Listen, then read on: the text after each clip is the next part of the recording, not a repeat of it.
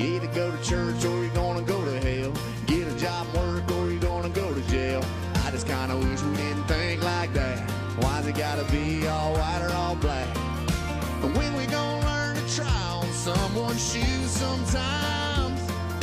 And when we gonna start to see